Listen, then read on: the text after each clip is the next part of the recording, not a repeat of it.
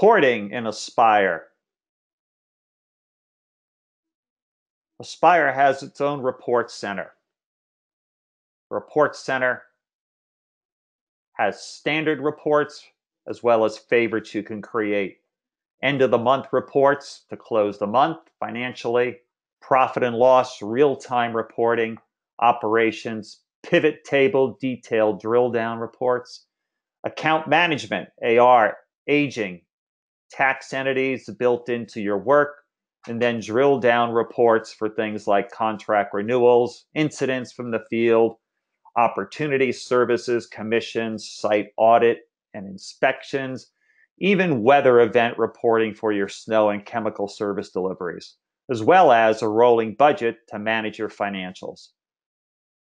Setting up the rolling budget in Aspire is done by your division and by your branch at a summary or detail level.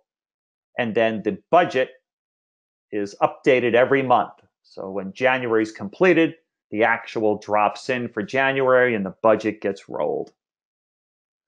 Aspire reporting from a profit and loss point of view is revenue through your cost of goods sold up to your gross profit and gross margin management. These are real time profit and loss reports that provide you the detail for every transaction associated with the numbers on that profit and loss statement through simple P&L drill down reports to the actual work done from the field, all the way back to time cards and purchase orders. Customization of the reports allows you to select date ranges, your revenue, company down to district, district to a region, branches within the region, divisions or profit centers within the branch, and even services inside the division, inside the branch. Again, all these reports can be made favorites and can be used and shared across the organization and can be different by branch. Even reports at the rep, crew leader, account manager, and industry segment level.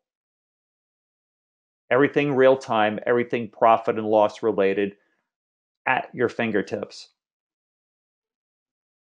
Aspire also provides KPI reporting from the sales, planning, budgets for proposals, and closes, all managed in real time with a simple click to look at the details and the sales that created the actuals in comparison to the budgets. Account management KPI beginning balance, contract value, annual or monthly, ending balance for whatever period you establish and set up, contracts lost, contracts gained and added for that account manager or branch, and then upsells associated with those contracts, all customizable in the KPIs. Labor efficiency reporting, looking at services delivered, actual to budget to scheduled hours, all again in real time as the work is delivered. And all reports in Aspire can be customized with simple drag and drop to change the view, to look at it from a property point of view, service point of view. Forecast KPIs, comparing revenue budgets to actual revenue, labor budgets to actual labor, as well as forecasting labor, and revenue based on what's in your estimating and sales pipeline. All down to the opportunity or contract level. And again, easily organizable for reporting and sharing across the organization. Report Center, KPIs.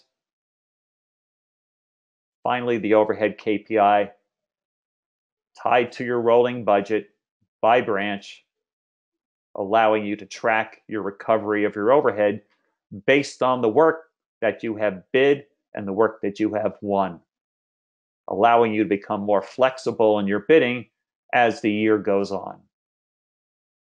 Finally, there are dashboards. Dashboards are unique day in, day out workflow activity monitoring devices. These are set up for a salesperson. I can track and manage, for example, activity as Aspire is synchronized with both Google and Outlook calendars and emails. A simple prospect report based on properties and activity. Renewal reports.